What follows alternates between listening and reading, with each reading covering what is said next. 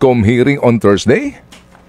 Ah, wala pa ring advice sa TED no na nakarating sa amin. But we already sent out the invitation. Pinadala na po namin ito Ah, dahil po dun sa huling ah, pagdinig ng Quadcom eh, sinabi po ng abogado ng dating pangulo na after November 1 ay pwede po namin siya maimbitahan that's why ah, nakaschedule po kami ngayong Webes November 7 at napadala po namin yung aming invitation sa kanya Okay, sige po. So, pa, mas maganda nga po ating naiklaro itong balitang ito. Ah, so, meron na, meron na pong imbitasyon, natanggap na po ito. Uh, pwede ho bang pangunahan ko na ang mga pwede mangyari? Kung sakasakali pong hindi pa rin po sumipot ang dating Pangulo, what's next?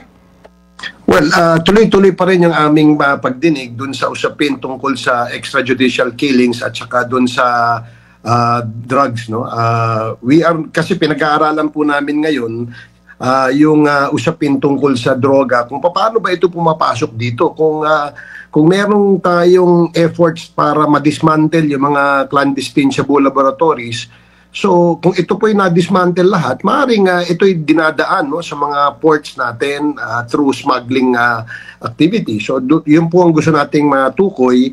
At ah, sino po yung mga personalities na sa likod nitong ah, smuggling na ito? No? So far, ang aming nakikita, ah, Ted, ay yung involvement, na maaaring involvement ng alleged drug lord na Charlie Tan at ah, Michael Yang, no? Ah, na kung saan ay sila ay very influential sa Bureau of Customs Ah, mula doon sa statement na binitawan ni former ah, intelligence officer ng Bureau of Customs na si Jimmy Guban. So doon ho kami ah, umaangkla sa ngayon at doon namin tinitingnan base sa kanyang information kung sino pa yung maaaring personalities na, na nasa likod nitong pag-i-smuggle nitong mga droga ito. Opo. So, sino po ang mga nakalista na po at nag-confirm ng attendance po sa hearing na ito ng Quadcom on Thursday, uh, Congressman, kung mamarapatin po ninyo? Yes, so Ted, no, ah, so far inimbitahan po namin lahat, no. Kasama na rin diyan ang dating pangulo, ah, kasama rin po diyan ang ah, congressman ang anak na congressman ni dating pangulo at yung kanyang ah, son-in-law na, na si Attorney Man Scarpio dahil po nabanggit ito ni ano eh, nabanggit po ito ni Mr. Jimmy Guban. At ah, para naman po maging fair, eh, binibigyan po natin ng pagkakataon na masagot po itong mga allegation dahil seryosong allegations po ito eh napaka-unfair naman kung hindi po natin madidinig yung panig naman ng inaakusahan. Kaya ho inimbitahan namin sila rito. At of course, lahat po ng mga uh, ahensya ng gobyerno na ah, tumutukoy po dito sa usapin tungkol sa illegal drugs gaya ng PIDEA, ng Mhm. PIDEG, ng Mhm. NBI, Mhm. ah, DOJ, no? Mhm. Yan po lahat, ah, Immigration, Bureau Mhm. of Customs. So lahat po yan na naimbitahan po natin. Opo, so hindi na po, si, uh, wal- wala na po sa next hearing sila Garma at saka sila Leonardo kasi hindi na sila subject dito? I agree. Kasama pa rin Kasama pala. pa Kasi rin. yung Okay. umaga, ang Mm. unang dalawang topic kami sa Webes sa Mm, Tento. mm, mm. Ah, ang uunahin naming topic ay yung ah, dangerous drugs na topic. And then sa hapon, ah, gagaya ng use na ginagawa namin tuwing ah, may pagdinig ang Quadcom na bandang hapon, eh, naman namin ay yung EJK naman. Na tuloy-tuloy po ito. The continuation lang po ito ng aming last hearing na kung saan si si Colonel Garma, Colonel Leonardo, at yung iba pang mga PNP na na pinatawag namin na ang siya namang aming resource persons. Opo, meron ho bang, uh, well, hindi na ito surprise, ano, kung sasabihin po ninyo, surprise witness, Congressman? Ah? Uh, Ted, uh, uh, all I can say kasi marami po kaming ini-interview na mga ano mga witnesses no pero yung iba ho kasi ah, sa totoo lang ah, meron ho kaming na-interview na medyo hindi ho nakapasa no dun sa vetting process ng legal team Mm-mm. Ah, although willing sila magbigay ng kanilang ah, sinumpaang salaysay, pero hindi ho kami tumitigil doon sa sinumpaang salaysay. Kailangan no, pumasa sila doon sa aming pagvivet dahil ah, tinatanong din po sila ng aming legal team tungkol Mm. doon sa kanilang sinumpaang salaysay. Kapag Mm. hindi ho kami na-convince o na hindi kumbinsido yung aming legal team, ay isinasantabi muna namin sila. At tinitingnan namin kung sino yung mga importanteng dapat ah, lumabas at magsalita. Yun ho bang dating hepe po ng Mandaluyong Police na si Colonel Grijaldo ay inimbitahan ninyo? Ah, dahil nga, as you know, no? Yun nangyari in the Senate? Yes, yes. Uh, inimbitahan namin siya, Ted. No? Lagi namin siyang iniimbitahan eh. Kasi ang kanyang imbitasyon eh base na rin po doon sa kanyang pagiging chief of police ng Mandaluyong City nung Mm-mm. na, nung nangyari yung pagkakapatay kay General Wesley Barayuga. Mm-mm. Dahil apparently ang aming information na natanggap ay wala ho siyang ginawang ah, report no at ah, kumbaga belated po yung kanyang report at ah, belated din po yung kanyang pagkakadawit sa pangalan ni General Barayuga doon sa usapin tungkol sa drug list. Mm-mm. So, yan ang gusto namin kumpirmahin sa kanya. In fact, hindi pa namin siya witness, hindi pa rin namin siya natatanong mabuti. Kaya nagulat kami nung lumabas siya dun sa sa ano eh sa Senado at nag-imbento ng mga kwento. Eh yan po itatalakayin namin at ah, dapat ah, sumagot siya dun sa aming mga katanungan Ted. Opo. Meron na ho bang konfirmasyon sa kanyang pagsipot sa inyong imbitasyon, Congressman? Well, uh, i- i- idinaan po namin yan sa Philippine National Police at uh, dapat to eh, siya ay mag-appear. Ah, kapag hindi po siya nag- mag-appear, eh, mapipilitan po ang komite na isabpina po siya. Kapag ah, hindi pa rin siya dumating ah, after a subpoena is ordered, eh, iko-contempt din namin siya. Opo. Ah, yun hong si ah, ah, Irmina Elias Muking Espino, ah, siya po ay humarap sa Senado at kayo po'y matagal nang pakakaalam namin nag-iimbita po sa kanya. Siya ho ba'y meron na pong paramdam na sisipot? Wa- wala pa rin confirmation, Ted. Tama ka dyan, no? si Muking at saka yung Peter Parungo ah, na nabanggit doon sa affidavit ni Colonel Garma no na may kinalaman doon sa pagbibigay o pag pagre-release ng ah, award ah, reward money Mm, mm. doon sa mga nakakapatay. Nagulat nga kami dahil nung una parang hirap kaming malaman kung saan nakatira, saan papadala yung invitation kaya kinorse through namin sa PNP.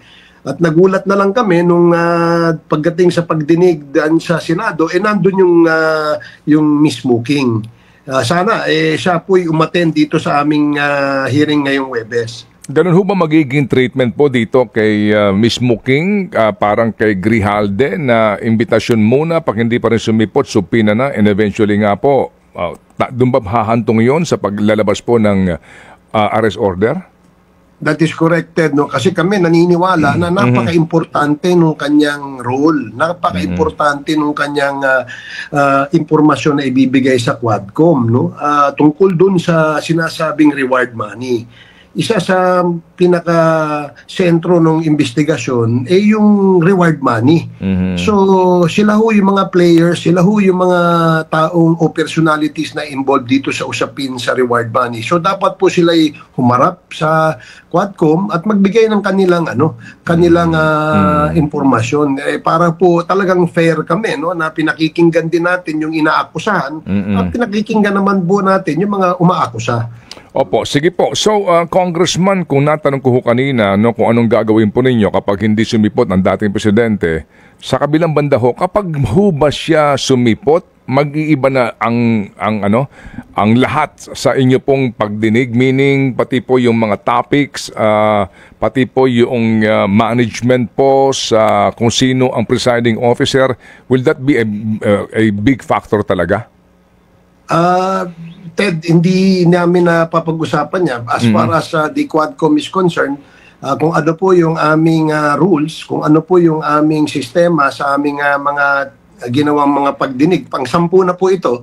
So, ganun pa rin po ang mangyayari. No? We will stick ah, to the rules ng, ng House at uh, sisiguraduhin namin na wala pong magva-violate ng rules na ito. Mm, okay. Um, Congressman, meron pong kaisipan na ngayon ano na kumbaga eh habang nag-iimbestiga kayo in the Senate din po nagkaroon ng one-time na investigation. Ang sabi po ng iba na kung meron ng sapat na ebidensya diyan, simulan na yung proseso ng DOJ para ho naman po yung binabanggit po na criminal liability mapanagot ng mga taong itong inaakusahan sa Pilipinas, no? A- ano ang inyong, correct. ano ho ang inyong take doon, Congressman?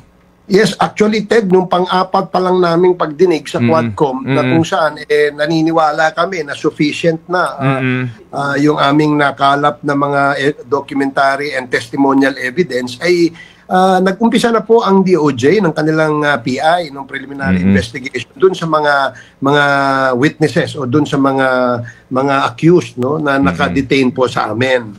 Ah, ito naman ay ah, ginawa ho agad ng DOJ. At ah, so far, ah, I think ngayon nakakabuo na po sila ng ah, ng ah, build-up ng kaso.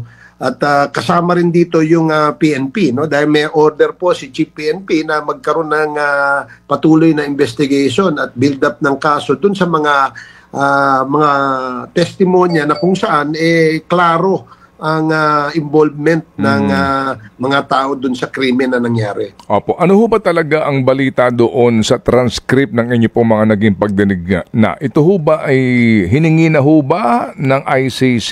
Ito ba'y na-forward na sa ICC? Paano po, Congressman?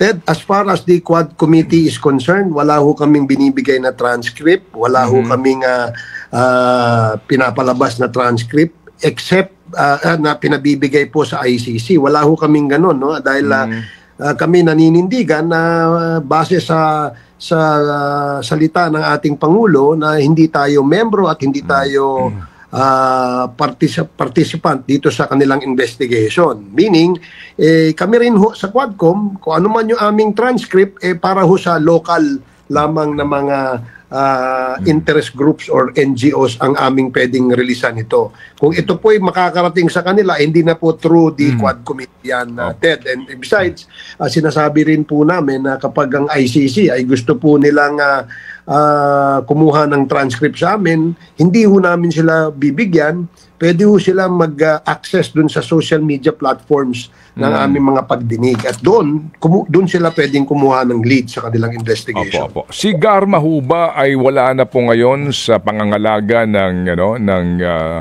ng kamera. Pin- siya po ay binigyan na po ng kalayaan magmula doon sa kanyang contempt. At pati po ba itong si Leonardo? Yes, that is correct, uh, Ted. No? Ah, na, na ano kasi nakapag ah, na nabigyan na po namin sila ng ah, release order dahil ah, tuloy-tuloy naman yung kanilang cooperation. In fact, ah, sabi namin na okay, ah, kaya ngayong November 7, meron po tayong pagdinig and we hope to see you there. No? At ah, dapat eh, tuloy-tuloy ang inyong cooperation. Although nakita naman namin that ah, they were cooperating closely with the legal team, cooperating closely with the Quad Committee, kaya amin lang silang ni-remind no, na pagka kayo po ay nasa labas na at kayo tinawag ulit para ah, humarap sa Quad Committee, kailangan po maging accessible kayo. Otherwise, we will again be be compelled no to cite them in contempt kapag hindi pa rin sila ah, humarap. Okay, sige po. So salamat po sa update Congressman at kami po mag magmamasid na huna naman sa Webes para po sa kaukulan pong uh, mga informasyon na maaari po namin magamit po sa pagpapalawak ng tamang informasyon.